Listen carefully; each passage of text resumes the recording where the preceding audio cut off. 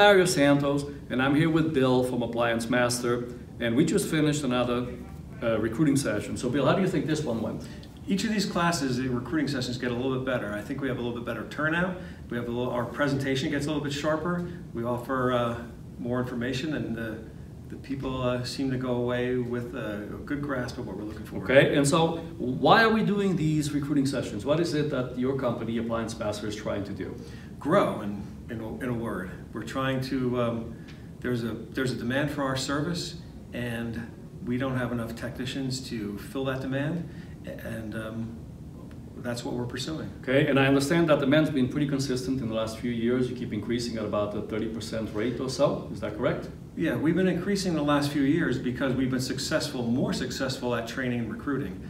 And I'm trying to get even better at training and recruiting. That's one reason we brought Mario on to do our uh, initial right. training. So I, I provide the recruiting for Appliance Master. And how many recruits right now are we looking to uh, get involved in this uh, other phase of training?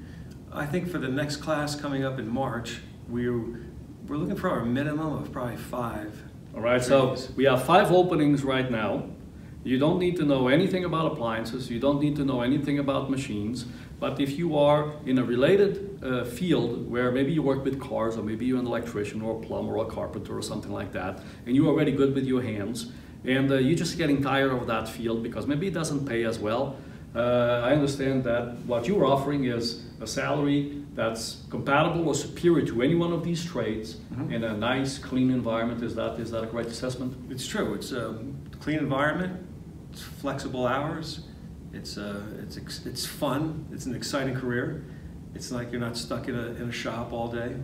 So, appliance master, 30 years in business, still growing, recruiting people if you have related training or not, it doesn't matter because we will train you from scratch.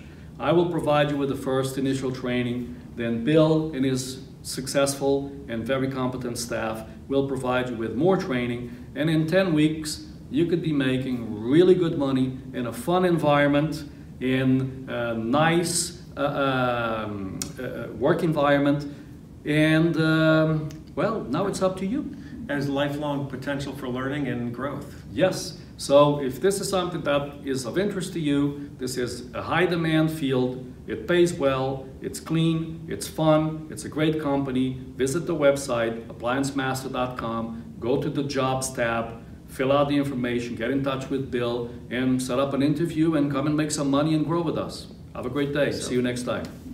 So long.